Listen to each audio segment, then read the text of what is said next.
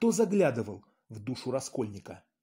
Там увидится наверняка слово плотника, вера сотника и трагический путь рыбака.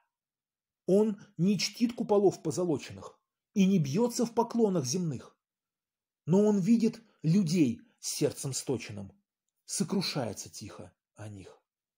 И в молитвах, наполненных ересью, не звучат списки мертвых царей.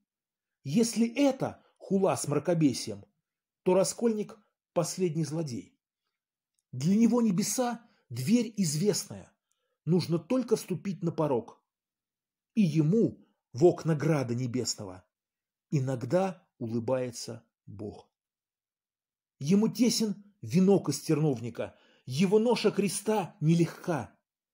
Слово плотника, вера сотника и трагический путь рыбака.